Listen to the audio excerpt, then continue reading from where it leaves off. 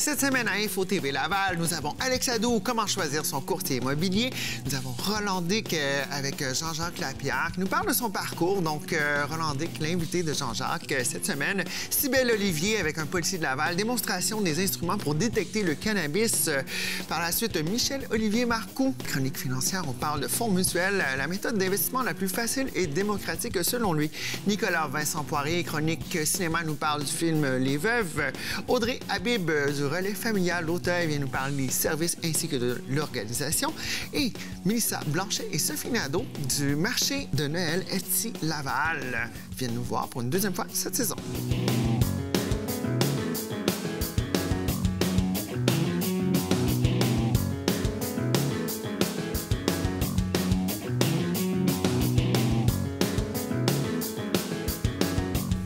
Cette semaine, on reçoit les filles du marché Etsy. Ça commence à être une habitude, là. On Ben commence à se connaître. ben ça oui, va bien. deuxième donc, fois. deuxième fois cette saison. Donc, Mélisa Blanchet, ça va bien?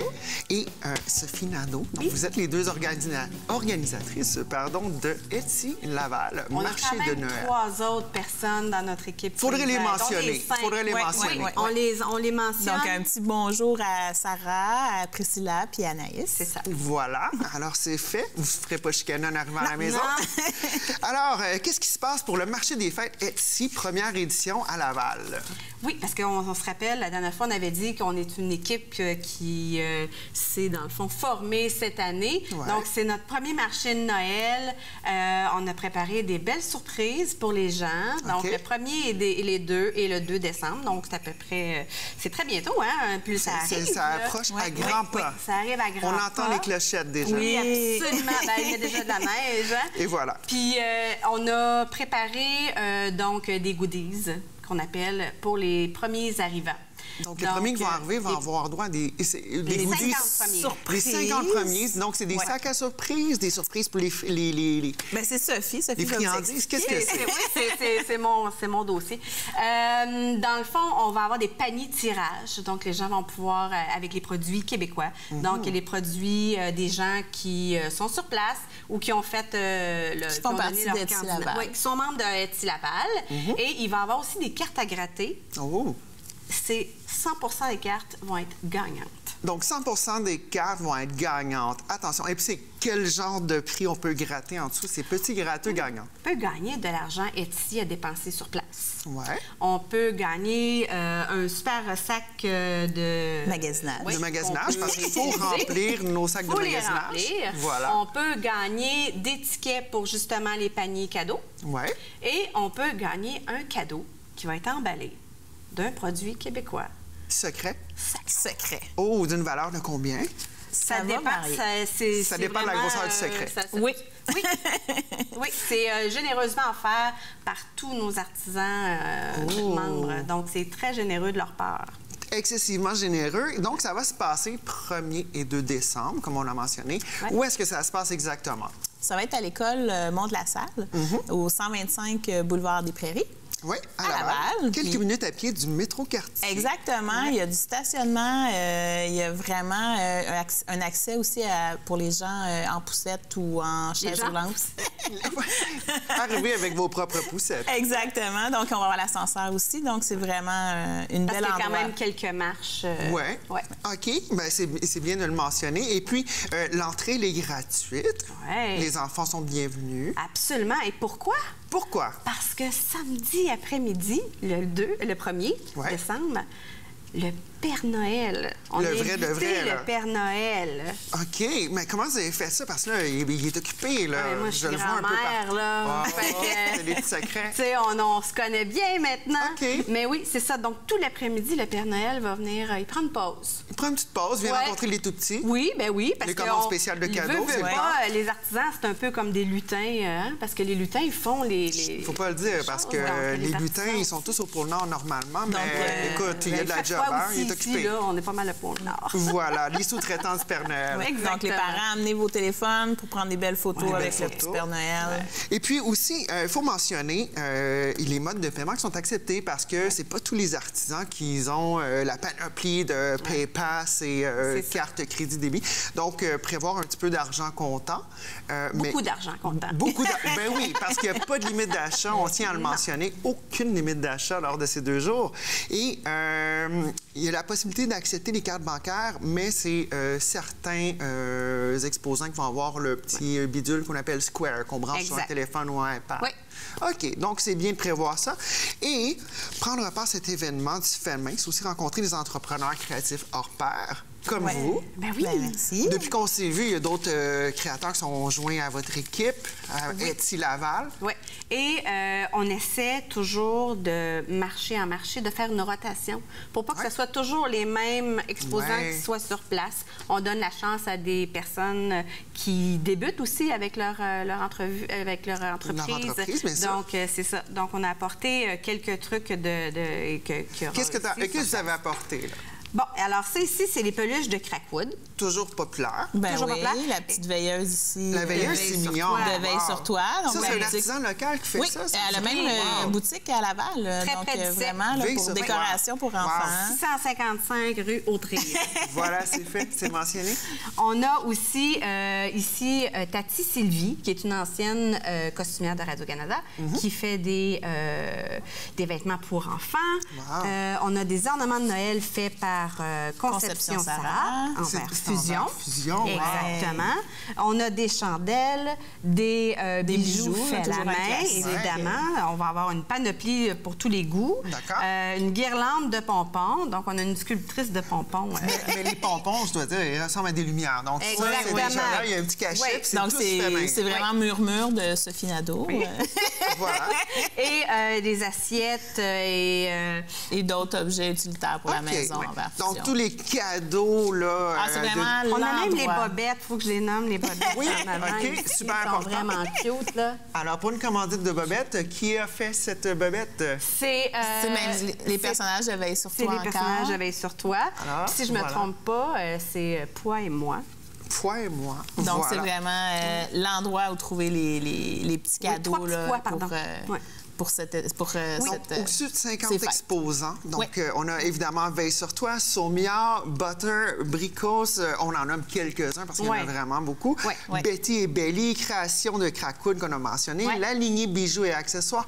Là, c'est juste la première ligne. Là. Donc, il y en a plusieurs. Et puis, pour en savoir plus, parce qu'on veut savoir, on veut suivre, là, on commence à, à- à se connaître Ouais. de plus en plus. Puis là, on voit que ça prend de l'ampleur sur Facebook notamment. Euh, donc, euh, facebook.com, Etsy Laval. Oui, et on va avoir euh, sur le groupe, quelques jours avant le, le- le marché, on va avoir l'événement, on va avoir une carte, on fait tirer une carte cadeau. Oh, donc, euh, euh, important ouais. d'aller sur la page Facebook, s'inscrire avant pour être éligible à la carte cadeau. Oui. Donc, ça, c'est le fun. Et puis, donc, première édition du marché des fêtes, on le répète, 1er 2 déce- euh, décembre, bien Oui, sûr. c'est ça. Voilà, c'est ben, Oui. ça. Novembre est déjà presque fini. Et euh, ça se passe à l'école euh, Monde de la salle. de la salle. voilà. la Oui, Magnifique on a chapelle. besoin de bénévoles. Oui, mentionné. Donc, Ouais. euh, on a besoin de quoi comme bénévole? Ah, c'est juste pour faire la porte, dans le fond, euh, peut-être diriger les gens euh, vers l'ascenseur. Parfait. Simplement. Ben, Mélisa et Sophie, un gros merci. Ben, Donc, merci euh, marché de Noël Etsy de Laval, euh, 1er 2 décembre. Alors, aujourd'hui, on reçoit Audrey Habib. Bonjour, Audrey. Bonjour. Directrice générale du relais familial d'Auteuil. Tu viens nous parler de, des différentes activités puis de l'organisme en général. C'est ça. Alors, le relais familial d'Auteuil, c'est une maison de la famille et une OBNL d'habitation pour les familles monoparentales en situation de vulnérabilité. Donc, on a un volet donc habitation avec 15 logements euh, pour les familles monoparentales. Et on a la maison de la famille. La maison de la famille, c'est un lieu où on peut se retrouver, on peut venir faire des activités. Euh, c'est un lieu de soutien pour les parents, puis pour les familles en général. On a euh, pas mal d'activités. Euh, surtout dans la journée, on fait du 0,50, donc euh, activités de développement euh, psychomoteur pour les enfants, donc 0-6 mois, 6-12 et 12-18. On a aussi de la préparation à la maternelle. Ah. Donc, on prépare les enfants à rentrer à la maternelle. On développe toutes les habiletés qui sont langagières, sociales, afin qu'ils soient prêts à rentrer à la maternelle pour les enfants principalement qui n'ont pas accès à la garderie ou qui sont encore à la maison, qui ne mhm. vont pas en garderie, afin qu'ils soient prêts à rentrer à la maternelle. D'accord. Et puis, euh, donc, euh, vous êtes situé au 6135 boulevard des Laurentides à la suite 1 et euh, vous avez vous avez l'intention, peut-être pas l'intention, vous avez un désir d'une mobilisation de quartier vers la communauté engagée, une solidarité, solidarité sociale. Pour vous, ça passe comment exactement? Bah, nous, c'est sûr qu'on a un point de rencontre pour euh, les familles. Euh, nous, euh, on favorise l'entraide dans le sens où si on veut venir faire du bénévolat, on peut venir faire du bénévolat. On, a, on fait du dépannage aussi alimentaire, donc mhm. pour, pour les familles. nous, on est comme le seul organisme euh, dans, le quartier euh, pour les familles, donc c'est sûr qu'on est un point euh, important pour... C'est vraiment un point névralgique. Exactement. Et puis, qu'est-ce que vous offrez aux membres? Parce qu'il faut être membre, idéalement, on s'inscrit. Alors, Comment ça fonctionne pour ça? On a une cotisation symbolique de 5 dollars par famille par année. donc, c'est assez accessible à tout le monde. Mhm. donc, c'est ça, être membre il suffit de venir au relais. Euh, c'est sûr que nos activités sont principalement pour les personnes qui habitent à Auteuil et mhm. à Laval. D'accord. Donc, euh, c'est ça. Parfait. Et puis, euh, on offre aussi de l'aide aux devoirs. C'est très apprécié. Oui, ça, c'est un nouveau projet qui a été financé par le regroupement Lavallois pour la réussite éducative cette année. Mhm. Donc, c'est un projet pilote. C'est de l'aide aux devoirs qu'on donne au centre communautaire d'Auteuil du lundi au jeudi de 15h30 à 17h30 pour euh, tous les enfants d'Auteuil. D'accord. Donc on a un partenariat avec les écoles qui nous soutiennent dans ce projet-là et qui nous réfèrent les élèves. Donc euh, c'est gratuit. par référence seulement, on, peut non, pas on peut venir, mais c'est sûr que nous on privilégie quand même les références des écoles qui ont déjà ciblé, c'est ça, qui, euh, qui ont ciblé les élèves ayant de plus de difficultés. D'accord. Et puis, on favorise euh, la qualité de vie familiale, promouvoir l'implication citoyenne, encourager euh, l'entraide des familles, euh, favoriser la mixité sociale. Donc, c'est vraiment un beau, un beau melting pot de tout ce qui se passe dans le quartier, de tout ce qu'il y a de beau, de tout ce qu'il y a de bien, de, de tous les gens. Et qu'est-ce qui est le plus urgent au relais familial? Qu'est-ce que vous aimeriez que les gens sachent sur vous maintenant qu'ils ne savent pas qui ne savaient pas il y a quelques secondes? Bah, c'est sûr que nous, euh, on est situé dans une OBNL d'habitation, donc on n'est pas très, très visible. Mhm. Mais je voudrais qu'ils sachent qu'il y a un lieu qui euh, les soutient à Auteuil, où ils peuvent venir. Il suffit de rentrer, de pousser la porte. On est ouvert du lundi au jeudi. De 9h à 17h, ils peuvent venir comme ils veulent, taper à la porte et puis regarder toutes nos belles activités. On fait aussi des trocs pour les familles, donc on échange les vêtements. Euh, on fait... les petites familles, qui, ça pousse comme la mauvaise herbe, comme Exactement. C'est un nouveau projet en ce moment qui, qui se développe. On, a, on est à l'écoute des familles. Donc, euh, s'il y avait un besoin pour des familles qui rentrent dans notre mission, euh, c'est sûr qu'on serait à l'écoute et puis ils pourraient venir nous en parler. Mmh. Euh, c'est sûr qu'on couvre pas mal les besoins actuellement quand même. Là. Donc, tout ce qui est sécurité alimentaire aussi, c'est un volet qu'on développe. Parlez-moi de sécurité alimentaire. Ça, ça intrigue beaucoup de gens parce que sécurité alimentaire, ça veut dire quoi au juste? Puis comment vous procédez chez vous pour assurer? Alors nous, on fait du dépannage alimentaire en partenariat avec Moisson Laval.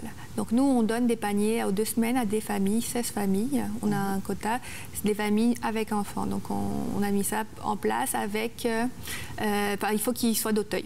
D'accord. Ça, c'est notre condition. Condition principale, oui, résident d'Auteuil. Parce qu'il y, avait vraiment, il y a vraiment un besoin à Auteuil, dans le fond. Mhm. Euh, puis, donc, c'est ça, ça, c'est le premier pas. Ça, c'est vraiment mesure d'urgence. Puis euh, on a aussi de la cuisine collective, bah, cuisine plus thématique. On cuisine un légume chaque semaine ensemble et on mange ensemble. S'il reste des portions, on peut repartir avec des portions. Puis euh, on invite tout le monde à venir manger avec nous les mercredis midi. Euh, surtout, bah, on cible aussi les familles qui n'ont bah peut-être pas le temps de manger chaud quand on a un petit bébé. Donc là, on peut avoir un repas chaud qui est cuisiné le matin. Point de rencontre aussi pour les familles, les mamans monoparentales. Des fois, l'isolement à la maison, ça peut être difficile, surtout avec un nouvel enfant. Euh, on peut partager avec d'autres. Exactement. C'est un de lunch et un lieu de socialisation. Donc, euh, on peut venir et c'est gratuit aussi. Et puis, Relais d'Auteuil, ça fait quand même plusieurs années que vous êtes présent. Oui, nous, euh, ça fait, on va faire notre 30 ans vu que ça a commencé de l'OBNL d'habitation. Donc, les habitations vont avoir 30 ans. Les volets maison de la famille, ça fait peut-être 10 ans, 10-15 ans que c'est c'est développé, dans le fond, pour l'ensemble de la communauté d'Auteuil. Et puis, qu'est-ce qui s'en vient? Euh, qu'est-ce que vous aimeriez éventuellement développer? Là, il y a l'aide au devoir qui s'établit peu à peu, qui est déjà une nouvelle structure. Qu'est-ce que vous aimeriez apporter euh, dans le futur pour le relais familial d'Auteuil? Nous, ce qu'on aimerait, c'est avoir la possibilité de déménager dans des nouveaux locaux parce que comme on s'agrandit, on aimerait ça aller euh, plus grand, dans le fond. Bien sûr. Ça serait notre projet à moyen terme. D'accord. Et puis, euh, ben, les autorités locales, le, message est envoyé. Alors, euh, Audrey Habib, euh, parlez-moi, dans la, période des fêtes, est-ce qu'il y a des trucs principaux qui, peut-être pas principaux, mais des trucs particuliers qui vont se passer pour la période des fêtes? Ben nous, c'est sûr qu'on fait une fête pour les familles. Donc, on va tous au bowling. Les places sont limitées. Donc, c'est sûr que ne peut pas accueillir tout le monde, mais on, distribue un petit cadeau aux enfants pour, euh, pour le temps des fêtes. Euh. Et puis pour la période de relâche, j'imagine l'aide au devoir fait relâche, mais est-ce qu'il y aura d'autres activités euh, familiales ou pour les enfants pour combler? Oui, tout, bah, pendant la période des fêtes, on, nous, on est fermé. Ah, vous allez fermer? Oui, ah, on est fermé, donc on donc, très important d'aller les voir avant et ça. après pour Mais les activités vont continuer toute l'année, donc on est ouvert jusqu'en juin pour, pour les activités, tout ce qui est régulière à l'année. Mais on a aussi euh, l'été un camp de jour euh, pour euh, les familles. D'accord. Et donc, on rappelle l'adresse, donc le relais familial d'Auteuil au 6135 boulevard des Laurentides, suite 1. Et on peut vous rejoindre sur facebook.com relais familial Auteuil. Sinon, au http, donc euh, www.relaisfamilialauteuil.org. Alors, Audrey Habib, un énorme merci. Et puis, bonne continuité avec le relais familial Auteuil. Merci chronique cinéma avec Nicolas Vincent Poirier. Salut. Salut. Ça va bien? Oui, toi. Oui, alors, euh, tu nous parles du film Les Veuves cette semaine. Oui, tout à fait. Un film, un, excellent thriller. C'est dans mes coups de cœur de 2018. À ce point. Ah, à ce point. Ça raconte l'histoire de trois veuves. Leur mari, c'était des, c'était des voleurs et ils se sont fait tuer en même temps dans un coup qui, qui a mal tourné. Et finalement, euh, ces veuves-là se ramassent avec une dette de 2 millions de dollars. Bien, la, la veuve euh, du, de, euh, du personnage qui est interprété par Liam Neeson, Liola Davis, l'actrice Liola Davis, son personnage a une dette de 2 millions de dollars avec des, des gens de la, de la pègre locale. D'accord. Et là, elle ne sait pas comment, elle sait pas comment sortir de cette situation-là parce qu'elle n'a jamais été impliquée dans les affaires de son mari.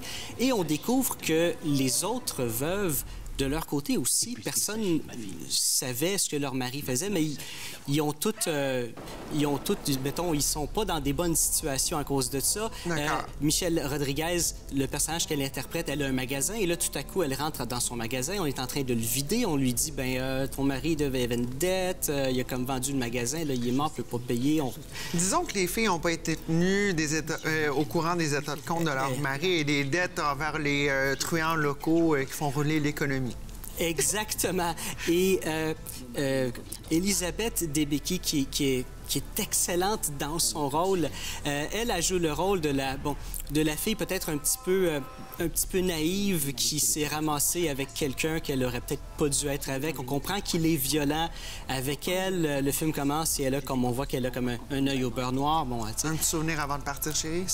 C'est ça. Et bon, son mari décède évidemment dans le dans le coup qui a mal tourné. Donc elle aussi, elle se demande qu'est-ce qu'elle va faire. Elle pense euh, peut-être, euh, tu sais, bon, il y a des sites de, de se mettre sur un site de sugar daddy, tu sais. Et finalement.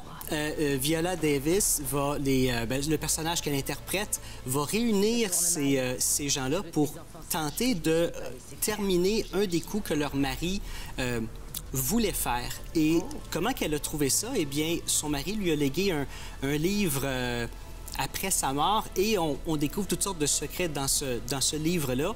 Et pour se sortir de leur situation, ils vont devoir essayer de faire un coup et personne n'a jamais, personne n'est de, sont pas des criminels, donc euh, tu sais, c'est Ils n'ont pas l'expérience, mais ils ont le plan de leur mari défunt. C'est ça. Et c'est un de mes coups de cœur parce que justement, on voit que on voit que ces femmes-là sont pas, sont pas au courant. Il n'y avait pas vraiment de pouvoir. Et là, tout à coup, ils vont, ils vont devoir reprendre le pouvoir.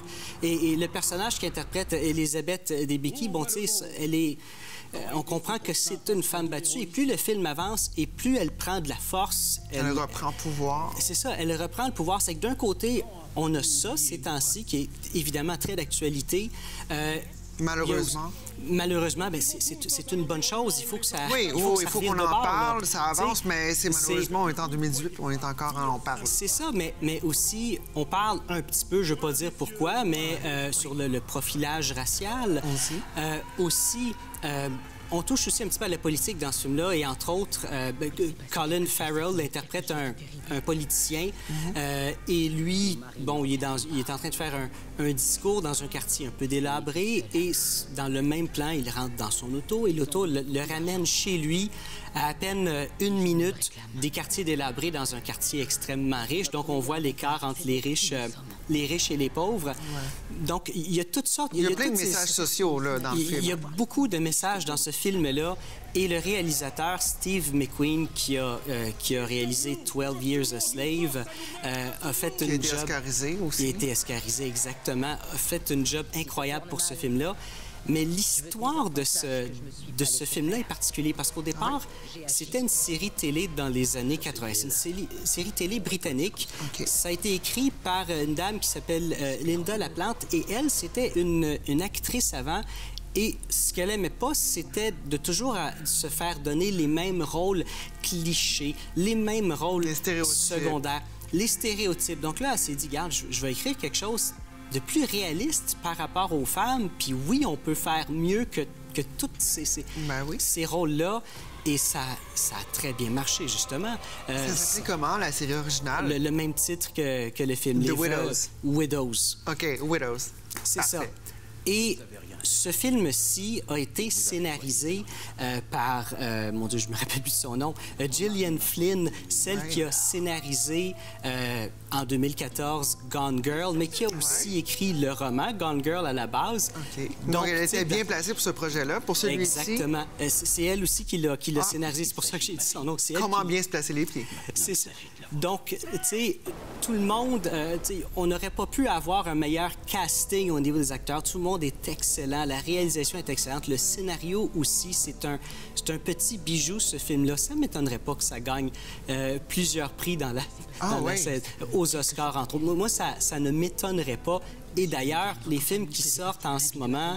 C'est les blockbusters hivernales pour Euh, des fêtes, non? Ben, c'est les, la, la saison des remises de prix arrive. Ouais. Donc, c'est le temps De faire des booms. De, faire des booms, de, de, de mettre... euh, de mettre à l'affiche les films qu'on pense qui vont gagner des prix. Mhm. Donc, c'est pour ça que ce film-là est là présentement. Et même si, avec un budget de 40 millions de dollars, le film euh, en Amérique du Nord est arrivé au numéro 5 avec 12 millions, le film va rentrer dans son argent. Il n'y a, pas de problème. Il va rentrer dans son argent, mais est-ce qu'il sera au cinéma? Encore assez longtemps pour euh, qu'on ait la chance d'aller le voir? Parce que souvent, quand ça ne fait pas le box-office, ça, ça défonce pas les premières semaines, ça débarque assez vite des écrans, non? Euh, oui, il y a ça, mais par contre, à travers le monde, le film a fait 19 millions jusqu'à date. L'Amérique Premier week-end. premier week-end. Euh, en Amérique du Nord, il y, y a un certain marché, mais on prend en Angleterre où, où la série. Là, la télé, série avait bien marché. c'est sûr que là, ils vont faire beaucoup, Beaucoup plus, plus. beaucoup plus d'argent.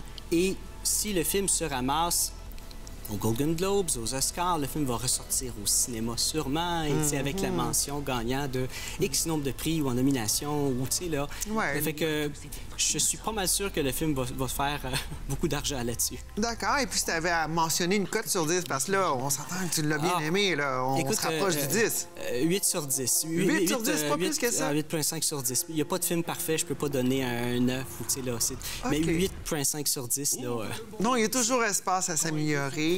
Donc, le plus haut que tu vas donner, ça va être quoi? Un 9.9? Non, je... je- 9.999? Écoute, mon film préféré, c'est le film Memento. Puis ça, c'est... Ça, c'est assez je- dément, ça. Je donne pas une, une- une cote là-dessus. Moi, je trouve que c'est un film qui est, euh, qui est parfait. Je sais pas si tu as vu Moi, je l'ai vu, puis euh, il m'avait marqué à l'époque, puis tu parles de ce film-là, puis ça fait oui, je m'en souviens. Donc, euh, ouais, c'est un, excellent film. Oui, puis pour ceux qui s'en rappellent pas, c'est l'histoire de quelqu'un qui recherche l'assassin de sa femme et qui veut le tuer. C'est tout simple comme histoire. Le problème, c'est qu'il a reçu... euh, L'histoire de tous les jours. Exactement. C'est le quotidien de tout le monde. Et voilà. Ben écoutez, euh, quotidien de Nicolas Vincent Poirier, on a eu un petit aperçu. La semaine prochaine, euh, on se revoit pour une autre critique de film. oui, oui, j'ai pas le goût de faire de chronique jardinage. D'accord. Merci. Notre meilleur avantage, c'est d'être qui nous sommes. Pourquoi? Parce que personne ne s'imagine qu'on va avoir les couilles d'aller jusqu'au bout.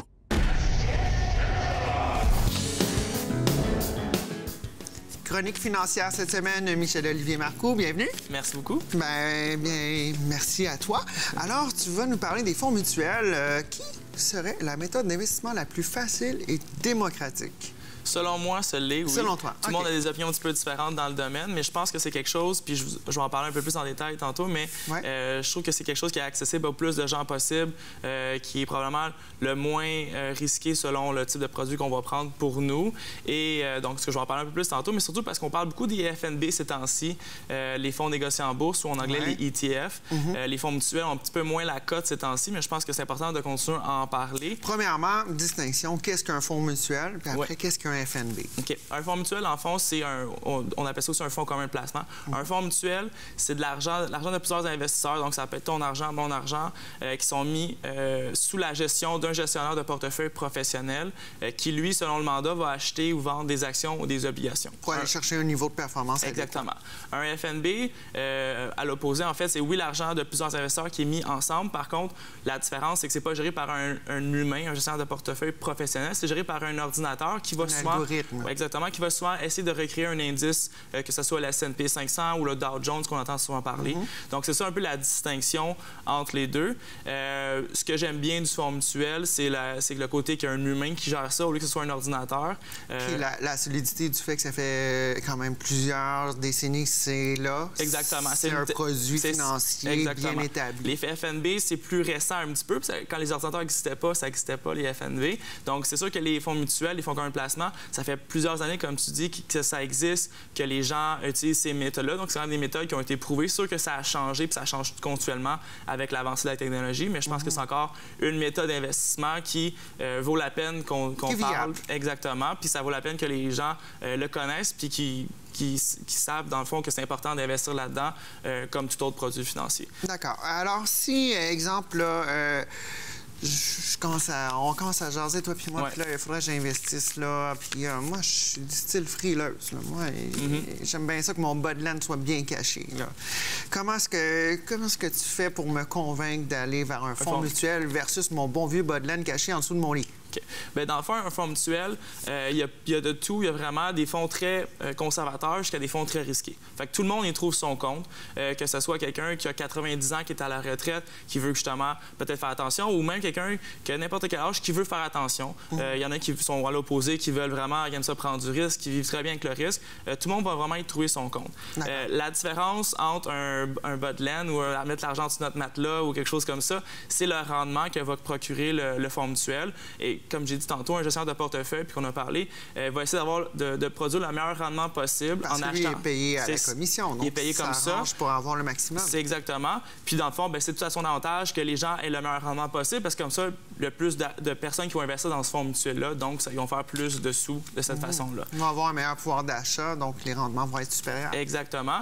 Puis, euh, dans le fond, c'est ce qui est bien de cette façon de, de rémunération-là, un petit peu, c'est que euh, l'avantage, dans le fond, le- ce que les gens recherchent, c'est d'avoir le meilleur rendement. Puis, dans le fond, ben lui, le gestionnaire de portefeuille, plus il a un meilleur rendement, plus les gens sont contents, plus ils vont investir, plus il va faire de sous. Fait que tout le monde y trouve un peu son compte. Il y a pas de... C'est un win-win. C'est un win-win, exactement.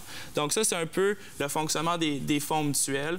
Euh, c'est sûr que, tu sais, comme j'ai dit, on, on peut investir dans des actions, des obligations. Euh, il y a plusieurs avantages, plusieurs désavantages aux fonds mutuels. Je vais commencer par les avantages un petit peu parce qu'évidemment, il y en- il y, en a plus que On de commence par les avantages, puis après, on va faire la petite liste à côté des ça, moins bons. exactement. Exactement. Donc, euh, premier avantage, euh, c'est que c'est un produit très diversifié. Dans un fonds mutuel, il peut y avoir des dizaines, voire des centaines d'actions ou d'obligations. Euh, donc, au lieu d'avoir, euh, par exemple, 500 minimum pour euh, investir dans un fonds mutuel, on pourrait acheter même pas trois actions d'Apple en ce moment.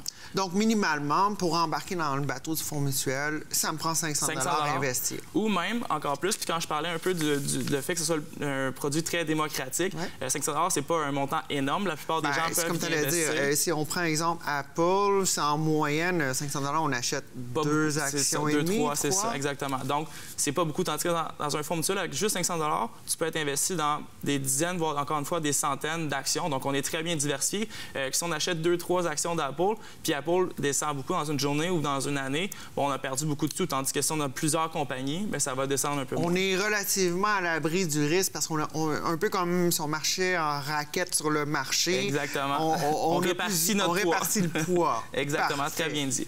Donc, ça, c'est le premier, euh, le premier avantage. Deuxième avantage, j'en ai glissé un petit peu un mot, euh, c'est au niveau de, de l'accessibilité. Comme je dis, c'est 500 minimum pour un, un premier investissement, mais ça peut être encore plus accessible que ça si on investit jusqu'à 25 par mois automatiquement. Donc, c'est vraiment euh, accessible à tout le monde. Euh, puis, dans le fond, c'est une bonne façon de commencer à investir, mais même pour les gens qui font ça depuis plusieurs années, ça reste un produit On qui est s'en très... est parlé il y a quelques, euh, quelques semaines de ça. L'épargne automatique, c'est vraiment euh, la meilleure chose. la à meilleure faire. façon. Donc, par exemple, quelqu'un qui, souvent, je me fais demander combien ça prend d'argent pour commencer à investir. Bien, ça peut être juste 25 à tous les mois. Fait que c'est pas tant que ça. C'est- quelques cafés à gauche par à droite qu'on dépense pas. Fait que ça peut être quand même euh, une bonne façon de commencer à mettre l'argent de côté pour tout le monde. Tout dépendamment où est-ce qu'on prend notre café, ça se peut qu'il nous reste de l'argent. Ça se peut qu'il y en ait plus que d'autres 25 cafés. euh, ouais, exactement. Voilà. Euh, le troisième avantage des fonds mutuels, c'est la gestion professionnelle. Encore une fois, j'ai parlé des gestionnaires de portefeuille. Eux autres, ils vont être là pour savoir euh, quelle action acheter, quelle obligation acheter, euh, à quel prix l'acheter, le vendre. Ça, c'est- c'est quelque chose qui est important aussi. C'est bien beau trouver dans le C'est fond... le capitaine du bateau. C'est le capitaine du c'est- bateau. C'est lui qui détermine, OK, ça, ça, ça performe pas assez, on sort ça de là, Exactement. on achète ça à la place. Tout à fait. Lui, il gère vraiment le gros bateau.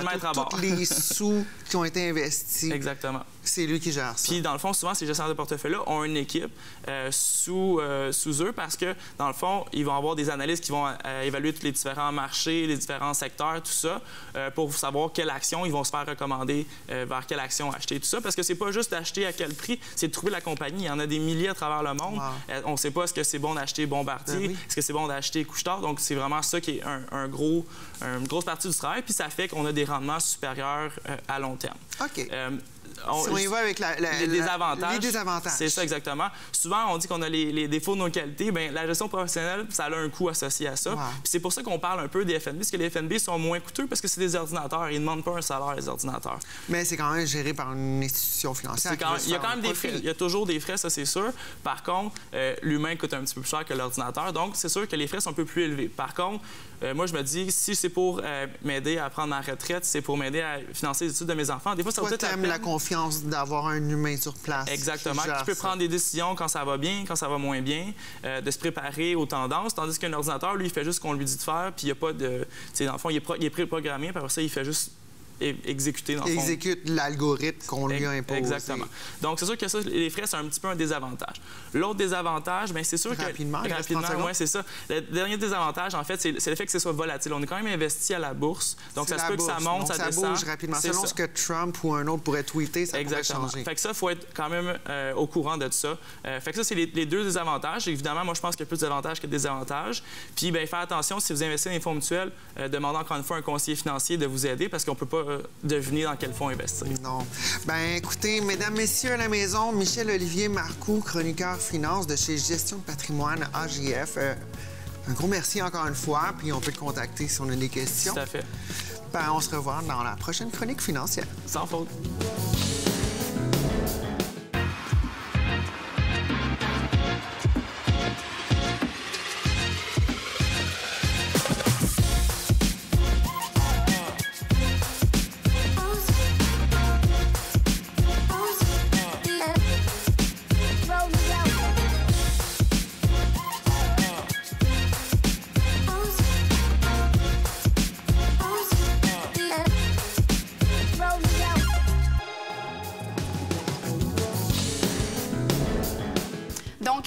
Peu plus d'un mois euh, que la- le cannabis est légalisé au Canada.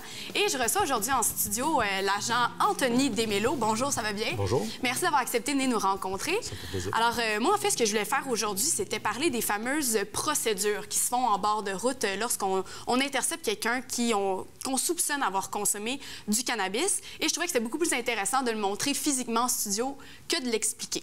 Alors, euh, bon, moi, bien sûr, j'ai pas consommé de cannabis ni d'alcool. Euh, Pouvez-vous m'expliquer un peu ce que vous faites en bord de route et c'est quoi les motifs qui, d'abord, feraient en sorte qu'on va immobiliser mon véhicule?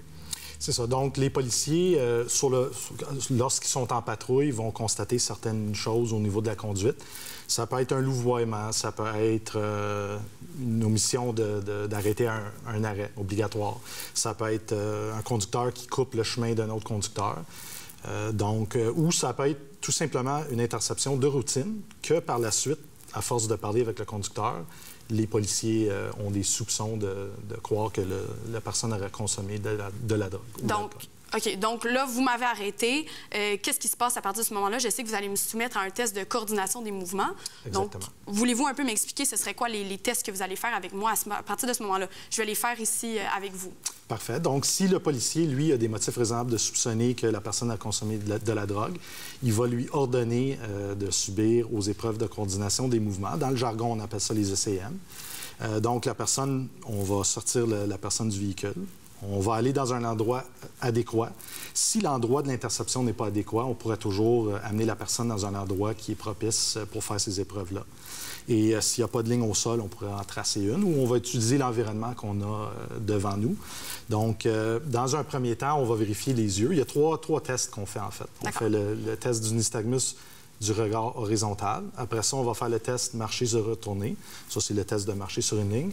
Et on va faire le test se tenir sur un pied. Parfait.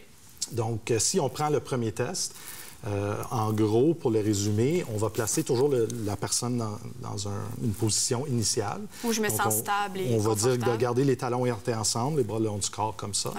On demande à la personne de maintenir la position et on va venir déplacer. On, regarde, on dit à la personne de garder toujours le bout de, de notre objet et on va le déplacer comme ça. Fait que on demande de garder la tête droite et juste de déplacer euh, les yeux. On suit le bout du crayon et on fait une série de passes devant les yeux. Et ce qu'on regarde, c'est vraiment s'il y a des secousses involontaires au niveau des, des yeux. Ça, c'est quelque chose que vous remarquez autant pour l'alcool que pour le cannabis. Oui, effectivement. Ben, c'est l'alcool et la drogue. Euh, certaines drogues, certaines catégories de drogues provoquent ce phénomène-là, le nystagmus du regard horizontal. En général, le cannabis ne le provoque pas, mais encore là, les gens pourraient consommer d'autres substances. Alors, euh, on regarde de voir la présence ou non de, de, de OK, parfait. Donc, une fois qu'on a fait le nystagmus euh, du regard horizontal, Oui. c'est quoi le prochain test? Là, le prochain test, c'est marcher se retourner. Donc, euh, on va imaginer une ligne qui est devant vous ici. D'accord. On va donner des consignes euh, usuelles. C'est des consignes qui sont normalisées, là, sont standardisées. Donc, après les consignes, on va demander au sujet de marcher neuf pas sur la ligne et de revenir marcher neuf pas sur la ligne avec une série de, de consignes. Mais en gros, la personne doit marcher sur la ligne comme ça et faire le, le demi-tour de la façon qui est démontrée et de revenir neuf pas sur la ligne. Entre autres, ce qu'on va demander à la personne, c'est de toucher le talon orteil ensemble comme ça. Parfait. Je vais faire un peu moins que neuf pas pour pas sortir. euh, Et là, ensuite, je me retourne de la façon que je considère la Oui, c'est ça. C'était dans le sens de- opposé, mais moi, j'aurais donné une démonstration, j'aurais fait. euh, OK. Là, je sens que j'ai un peu de difficulté peut-être avec les talons. Euh, J'imagine pas en plus si euh, je suis sous les effets euh, drogue ou alcool. Donc là, j'ai fait ça. Dernier test. Et le dernier test, c'est se tenir sur un pied. Encore là, on va donner une série de consignes. On va faire une démonstration toujours avant. Et la personne doit, euh, pour le représenter, la personne doit maintenir son pied levé de la façon suivante. 15 D'accord. cm, 6 pouces du sol, le pied parallèle au sol. Les bras restent le long du corps. Et la personne doit regarder le pied en comptant à voix haute 1001, 1002, 1003 et ainsi de suite. Nous, on chronomètre un certain temps. D'accord. Eh bien, une fois que c'est terminé euh, et que vous avez les motifs de croire, qu'est-ce qui se passe? Vous m'amenez au poste, donc.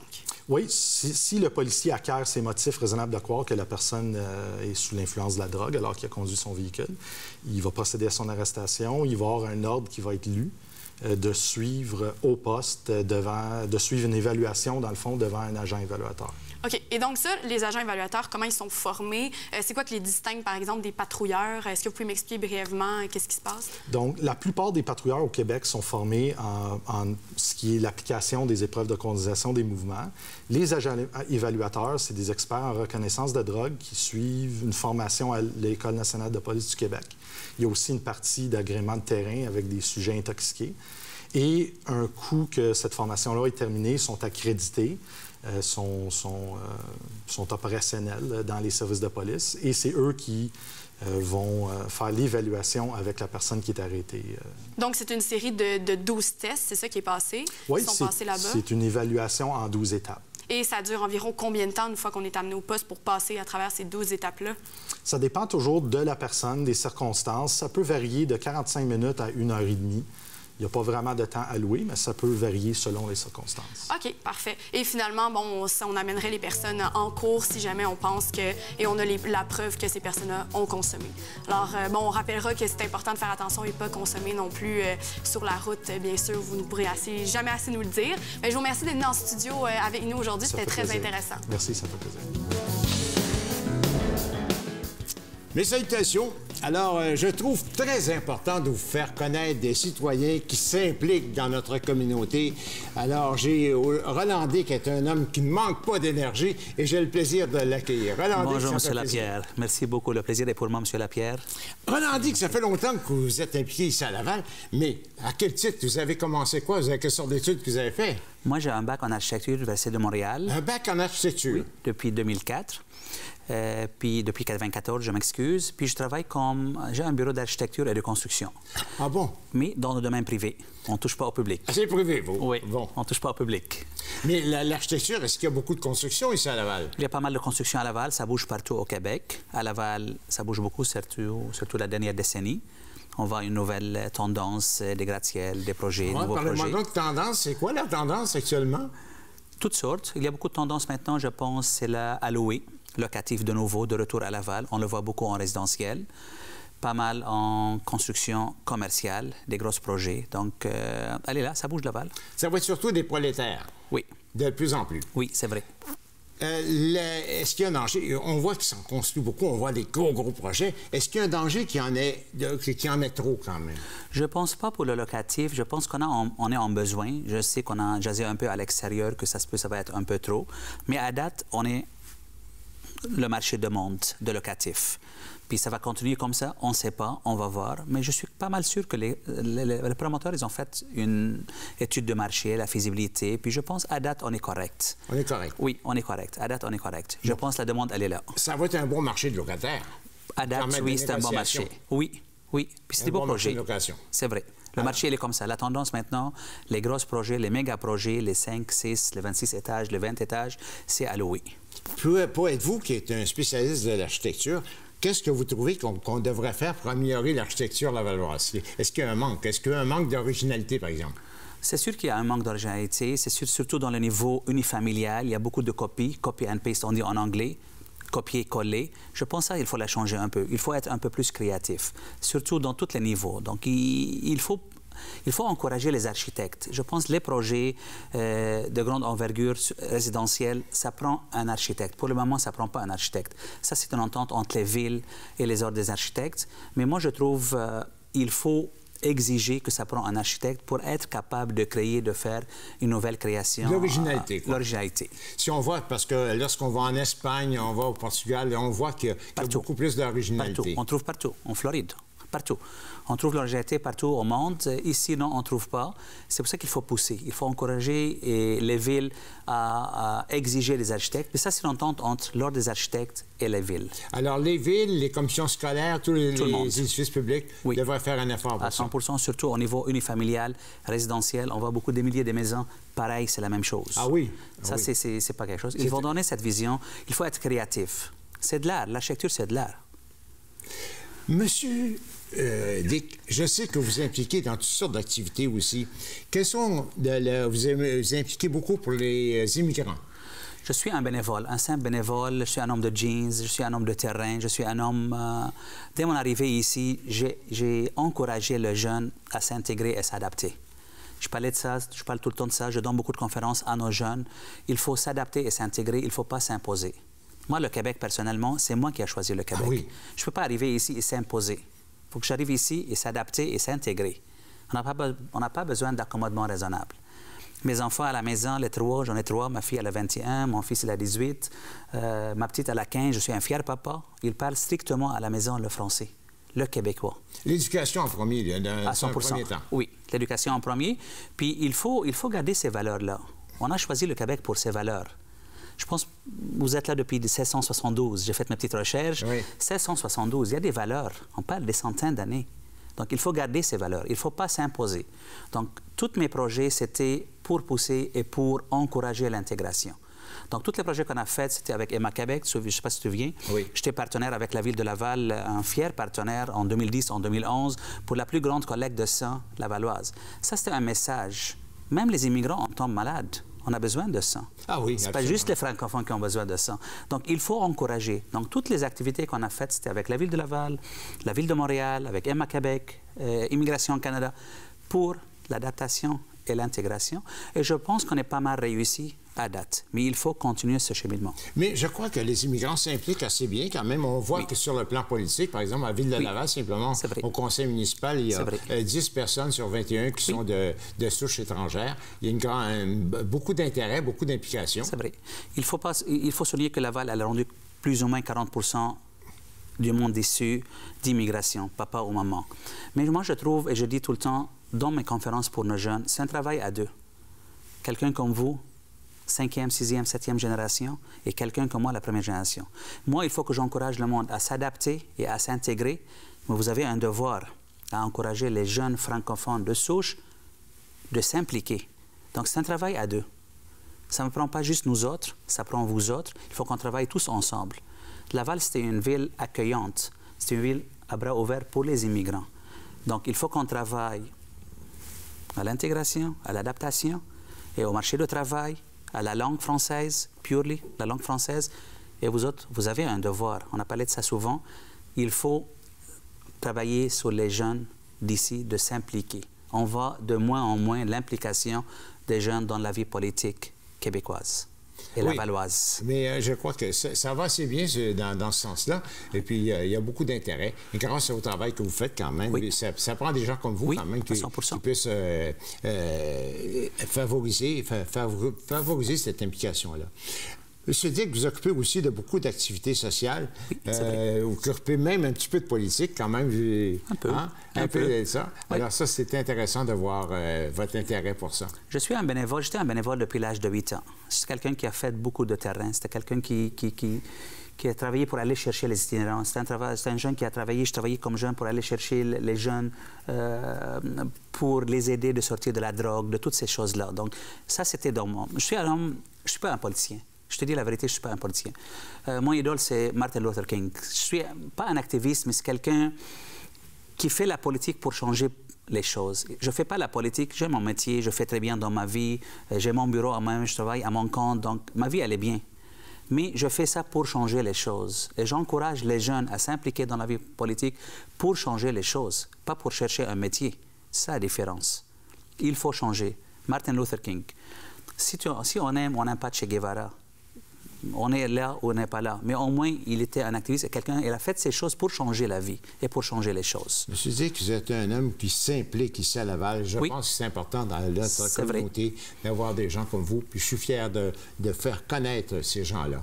Alors, je vous remercie beaucoup d'avoir participé. J'espère qu'on aura le plaisir. de- On va sûrement avoir le plaisir de se revoir Merci beaucoup pour l'invitation. Ça fait grand plaisir. Puis, honnêtement, Je sais que vous participez à certaines activités, euh, vous encouragez beaucoup la- la- la- la- les- le patrimoine, ceux qui font partie Oui. du patrimoine. Oui. On est bien content de ça. Merci beaucoup, vous êtes bien Merci, Dick. Merci beaucoup. Merci. Au plaisir. Merci beaucoup.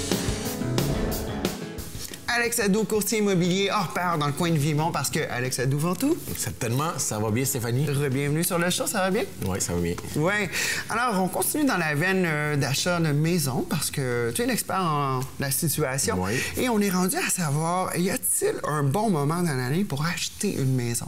Euh, pas nécessairement. Ça dépend, dans le fond, de vos obligations. Si vous avez, mettons, un appartement, vous êtes en location, euh, la question est est-ce que vous voulez, mettons, canceller votre bail pour acheter ou vous, mettons, vous voulez attendre que votre bail finisse? OK. Toutes les réponses peuvent, peuvent être bonnes. Donc, ça varie, c'est du Ça cas par varie, cas. c'est du cas par cas, effectivement. Ça peut être aussi, est-ce que, est-ce qu'un peu comme dans l'automobile, ou est-ce que, ah, ben, il y a une période euh, dans le mois, le dernier stretch du mois, c'est plus euh, lucratif pour le client d'acheter parce qu'il y a des pressions au niveau des vendeurs. De Oui, effectivement. Dans l'immobilier, il y a- Oui. il y, a des périodes fortes. Oui, il y a des périodes fortes. Je vous dirais, c'est de fin janvier au 1er juillet. Nous autres, on appelle ça, dans le fond, le high season. C'est là que 70% de nos transactions, on les fait. Mm-hmm. Euh, le désavantage d'acheter, c'est que vous risquez de payer un 2-3% plus cher si vous achetez dans cette période-là. OK, c'est un petit peu comme quand on book euh, n'importe quoi dans la période achalandée. C'est un petit peu plus cher bien parce ça, que effectivement. l'embarras du choix est moins présent, donc euh, les prix se ça. reflètent. C'est ça. Parfait. Et puis, quelle période de l'année tu recommanderais? Si quelqu'un veut vraiment, alors, écoute, je vais économiser au max, là, je vais, je vais tordre le jus le plus possible puis essayer d'en payer moins, là.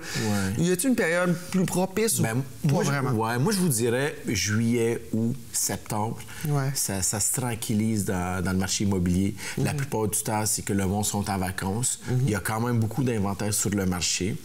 Euh, c'est pas la, la grosse période comme le déménagement du 1er juillet. Donc, c'est un peu moins achalandé. C'est un petit peu moins de- achalandé. Moins de pression, peut-être. Moins de aussi. pression. Vous risquez d'avoir autant d'inventaire. La seule affaire, c'est que moi, ce que je pense, c'est que vous pouvez négocier comparativement à si vous êtes dans le high season où il y a plus d'offres et de demandes. Mhm. Parce que là, pourrait potentiellement avoir deux ou trois acheteurs intéressés. Donc bien là, la ça. valeur se maintient. Ben, vous, vous risquez de faire de la surenchère s'il y a plusieurs acheteurs sur la même propriété. OK.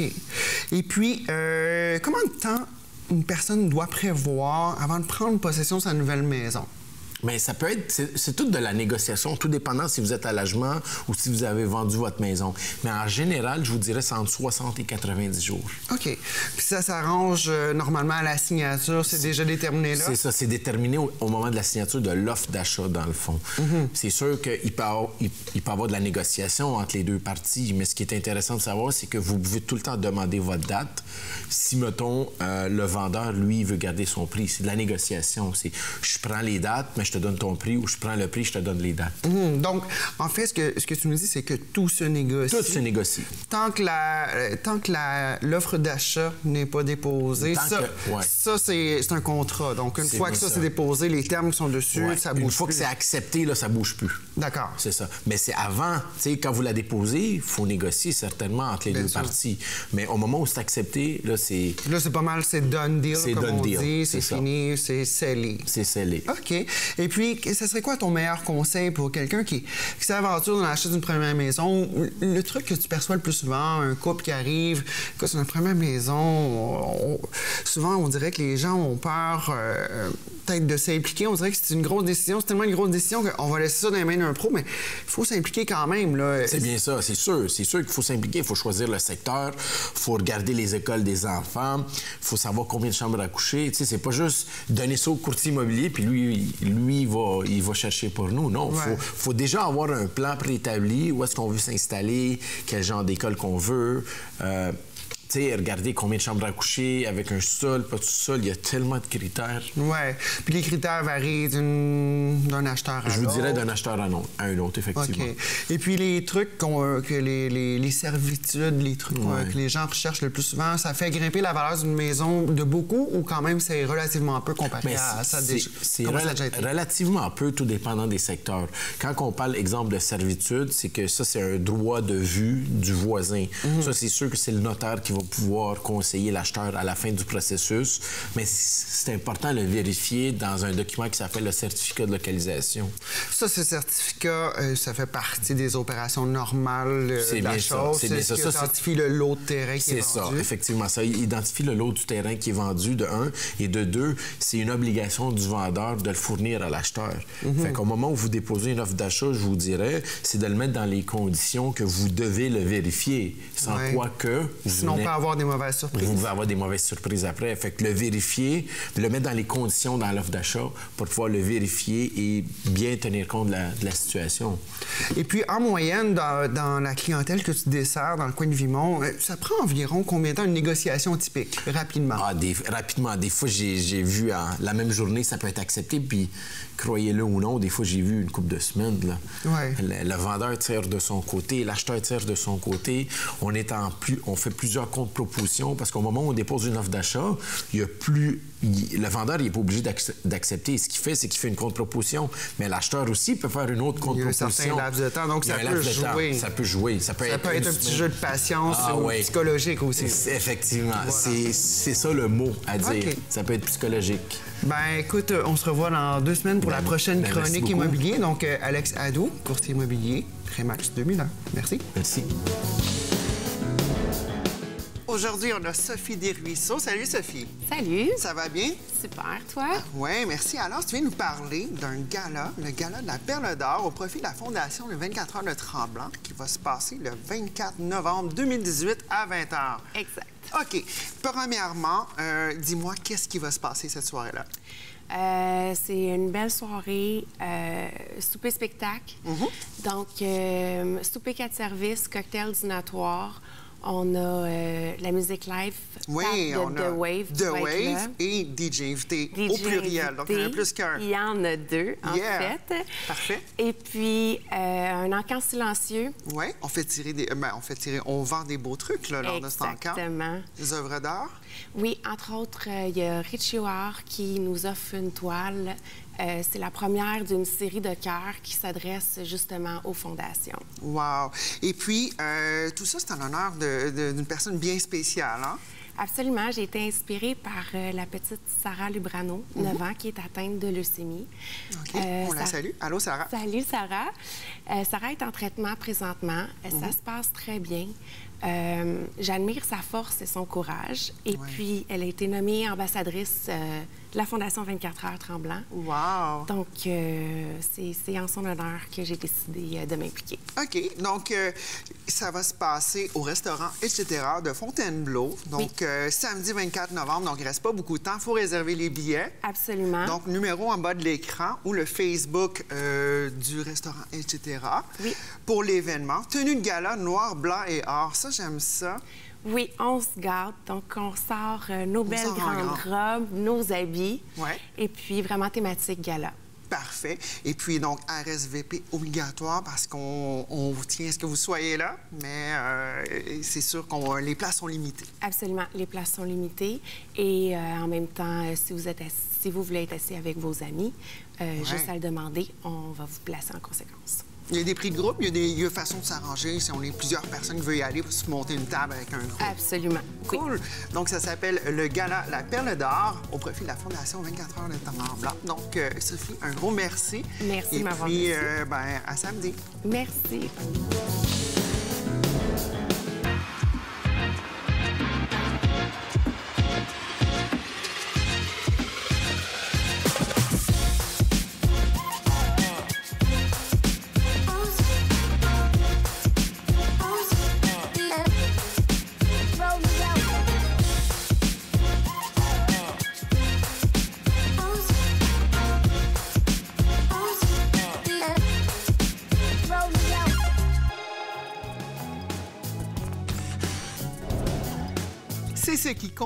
Info TV Laval. Cette semaine, euh, suivi par Fan de Country dans un instant, ainsi que Bingo TV Laval avec plus de 3500 à gagner, dont 2500 pour la carte pleine TV Laval dimanche matin. C'est Bingo. Alors, pour plus d'informations pour acheter les cartes, vous pouvez suivre euh, Bingo TV Laval sur Facebook, ainsi que tvrl.ca pour les points de vente. D'ici là, bonne semaine. On se voit la semaine prochaine.